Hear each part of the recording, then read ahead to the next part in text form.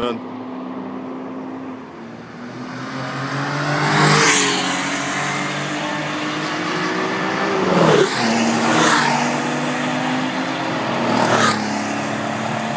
Und der klingt aber auch nicht gut.